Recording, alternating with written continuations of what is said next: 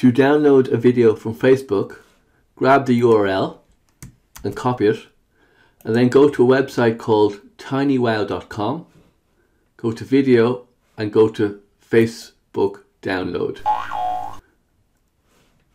You'll see the URL here now. It's video forward slash from dash FB. Go into the URL box, paste in the Facebook URL, click find video, tell them you're not a robot, and now it's processing the video. And now we're ready to download the video.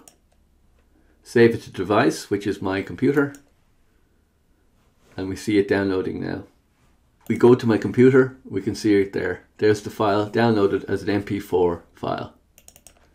And you can play the video. You might need to download the AV1 video extension. It's a codec which helps you play the file on your Windows machine. Here is the downloaded file playing locally on my machine.